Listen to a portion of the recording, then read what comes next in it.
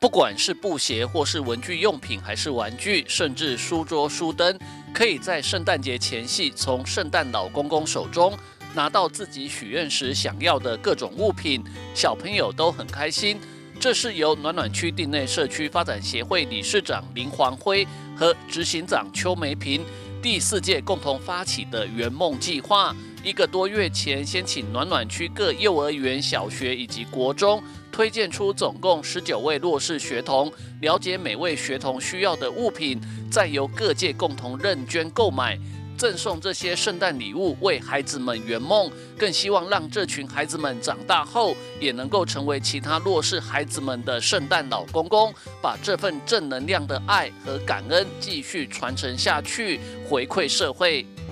圣诞节这个前夕哈，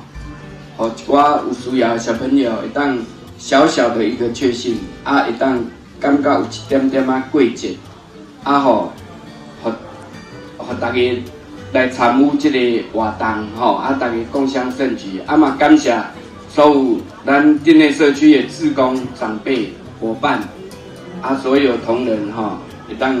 大家作为来完成这已经第四年啊。啊！大家还感谢所有来参与的